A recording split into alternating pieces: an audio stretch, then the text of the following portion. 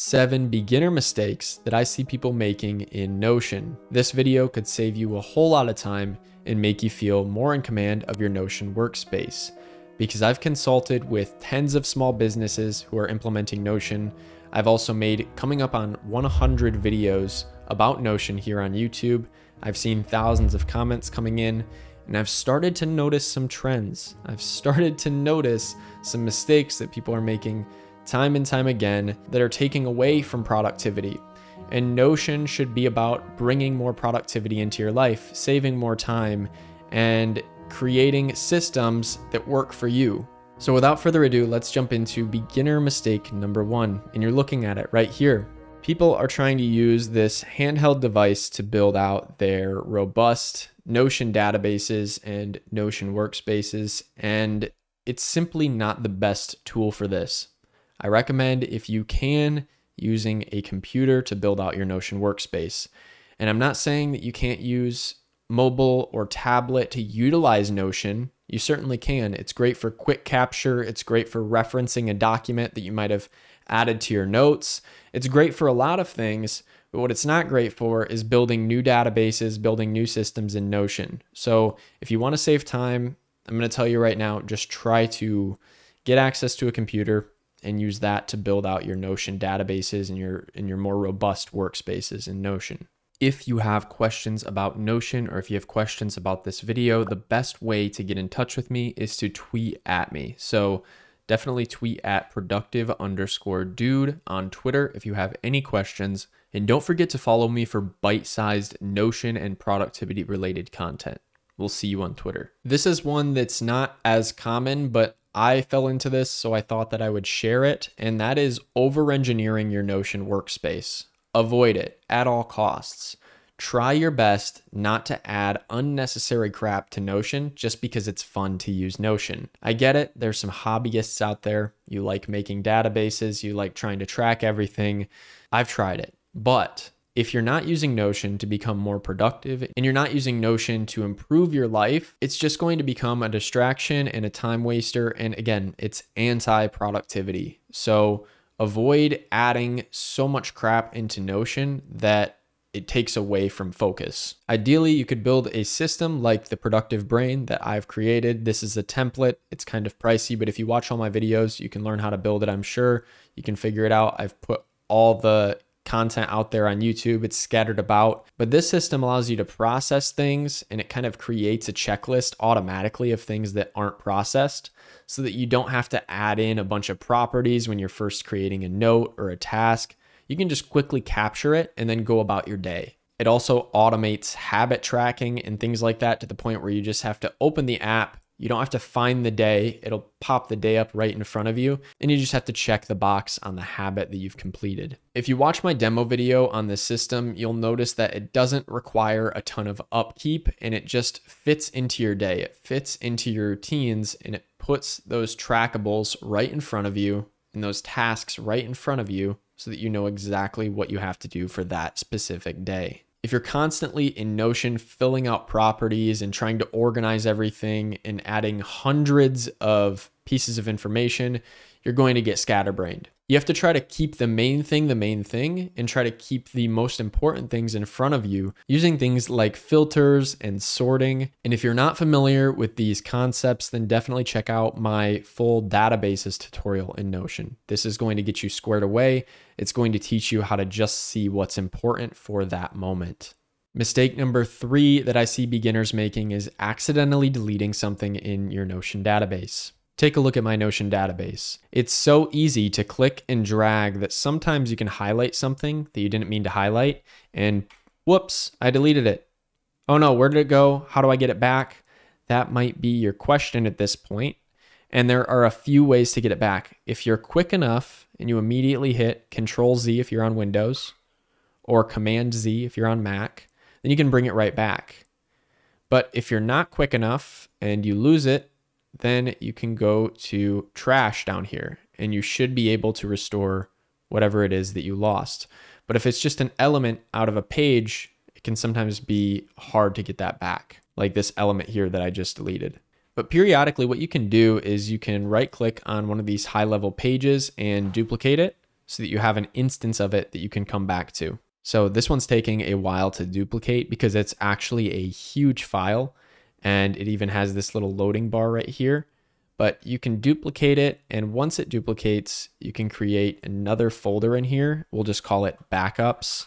And you can actually drag this file into backups once it's ready. I'm gonna open up my side panel here while this loads. And now that I've created this, I'm just going to click on these three dots, hit rename, and where it says my brain one, I'm just going to backspace a couple times and I'm just going to put in the date.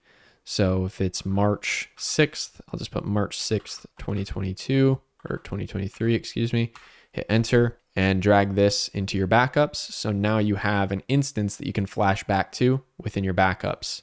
I'm going to change the icon. We'll just go with a gear and now I can just drag any of my pages in here and I can always open them back up and change this name and start fresh from that date.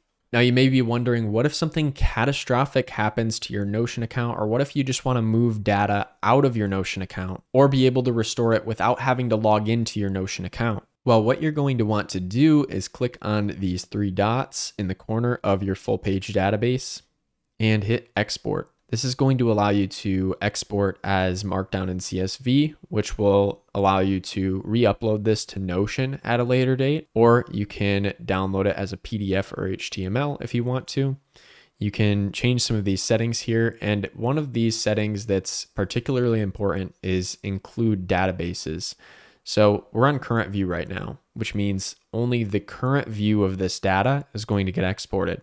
If I want to export the entire database, I need to make sure to change this to everything and just check these if you see it appropriate. And then you hit export. And this is going to go to work exporting and saving a file to your local device. Let's hit save now, and that should work. Mistake number four is for the true beginners. This is for the people who aren't using Notion databases yet. This is a trap that I fell into when I first started using Notion. You know, I had heard about Notion from a colleague and I heard about how great it was, and I thought, oh, I'll try it out. And then I was basically just using it as a fancy word processor.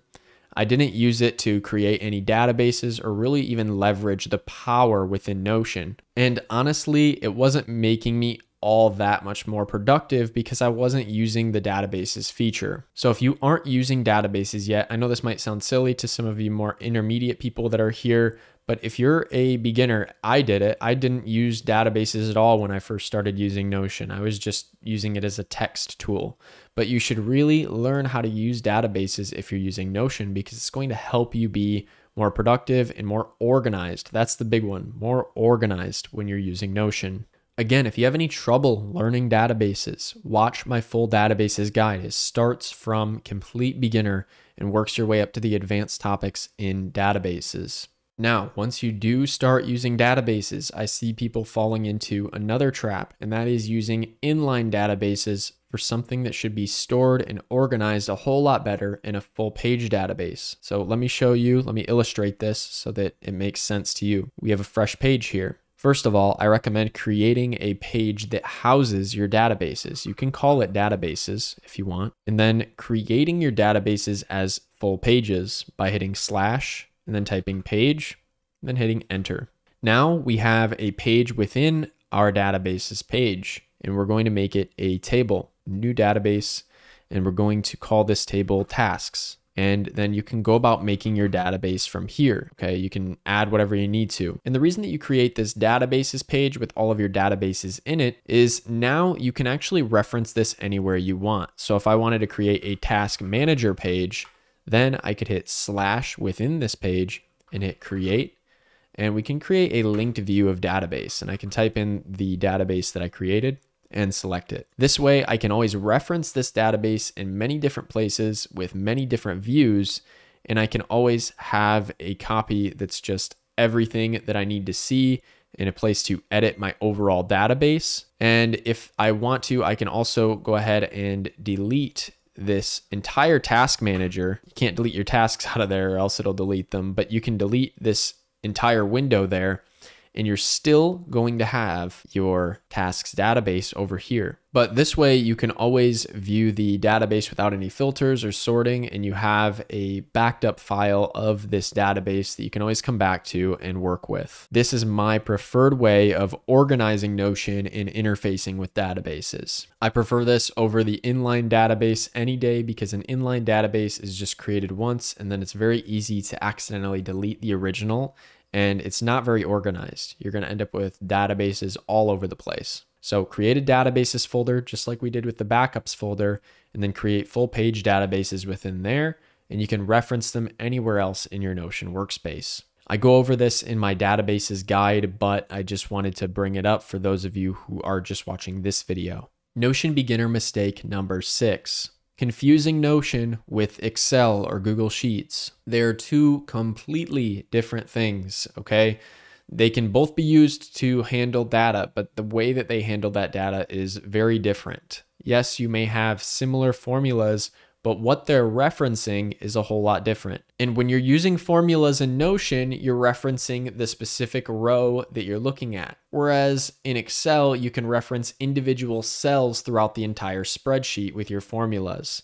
There are some crazy workarounds that you can do with formulas in Notion, but you're going to get very confused and very tangled up if you try referencing other rows in Notion when you're trying to use a formula within a specific row. For the most part, that formula is made for that row and it can only affect the other columns or properties within that row. Whereas in Excel, it's much more free form. It's a lot less organized and it might be a bit more confusing, but it's a lot more free form in Excel and it's based on cells rather than columns and rows, even though you might think, oh, Excel is columns and rows. No, it's actually a full on canvas that you can use and you can create cells and rows, but it's certainly not as structured and rigid as Notion. I found that creating things like financial trackers in Notion is a lot harder than it is in Excel, whereas building a task manager or a note taking manager in Notion is a lot better. So don't confuse the two. Don't think that you can just click into any cell and create a formula that's going to be able to reference anything within Notion. It's not that simple. Mistake number seven, not recognizing the Notion economy that's right in front of you. There are so many people making money from Notion, myself included, by being a coach, a consultant, or a template builder. And it's important that you know what you're doing. You don't want to give others a bad name in the space by going out there and spewing information that is wasting people's time or that's not helpful. But you can create some pretty awesome templates if you know a thing or two about Notion that will save a bunch of people time, and people are even willing to pay for those templates. If you want to, you can use a tool like Gumroad I think that their fees have gotten quite out of control, so I'd recommend looking elsewhere. But use a tool like Gumroad and upload your Notion templates. If you're good at using Notion, if you've learned Notion, then this is a great way to make a side income passively while you're sleeping, while you're sitting at the beach. I just went to Florida and I had one of the best months that I've ever had selling my Notion template while I was away on vacation. If you want to learn more about the income streams that you can create using Notion, then check out the video in the upper right hand corner right here. Like this video, I'll see you in the next one.